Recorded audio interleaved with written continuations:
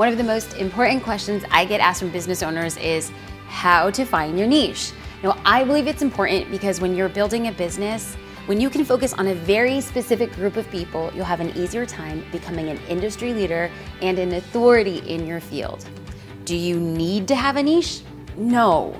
But will a niche help you quicker because you'll be able to build a specific business for specific needs? Yes. When I was a photographer, my first niche was brides. Instead of saying I was a photographer who shot everything, I focused only on brides and then I quickly became one of the leading photographers in the world. Because of this, I was able to focus on a different niche, which was photographers. I went from shooting to teaching photographers how to run a better business. This then led me to another larger niche, which is teaching small business owners how to run a better business. What I discovered was that when I mastered one small niche, it empowered me to step into larger niches and expand my brand.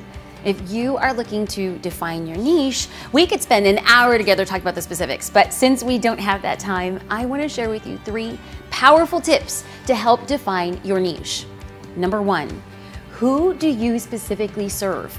It's not enough to say you serve men. That's half of the human population. You need to clearly identify what type of men athletes, entrepreneurs, stay at home dads. The more specific you get, the better off you'll be when you first start. And this leads us into tip number two What problem do you solve? The best businesses take time to understand what problem they are solving, and then they offer the easiest and most effective solutions.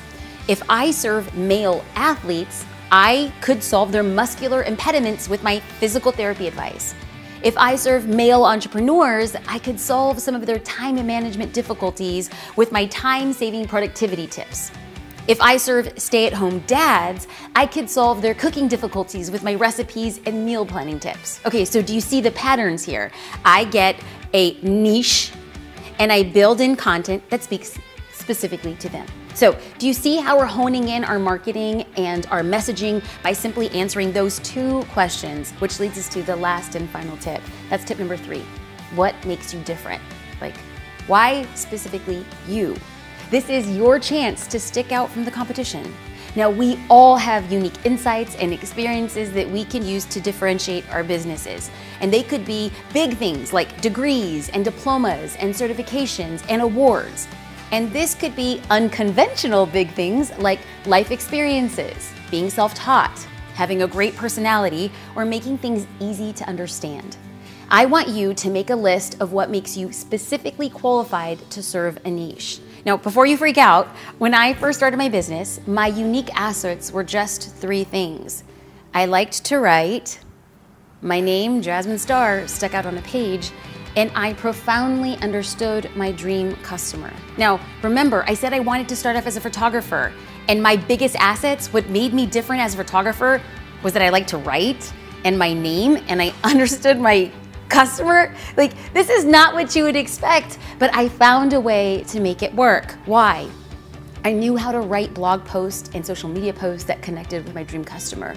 How did I know my dream customer? Well, I was a wedding photographer who just got married. I understood my customer so well. And my name, Jasmine Star, is the, my birth name that my mama gave me, and it just happened to stick out. So every time I introduced myself, I didn't introduce myself just as Jasmine, I introduced myself as Jasmine Star, a photographer from Orange County, California.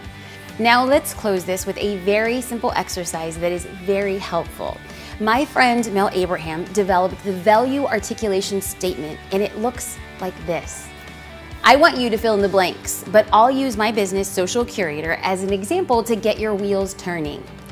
I help business owners build a brand and market it on social media so they can create a life they love instead of feeling lost and overwhelmed because my purpose is to empower people to believe that impossibilities are just possibilities in disguise. Now it's your turn. Complete the value articulator statement to define your niche. If you'd like to dive deeper into understanding how to define your niche and how to build yourself as an industry authority, I'd love to see you on the inside of Social Curator, where our membership empowers you with the tools and resources to get building faster without losing your time or your sanity. Like always, if you have tips to share or questions to ask, leave them here in the comments below.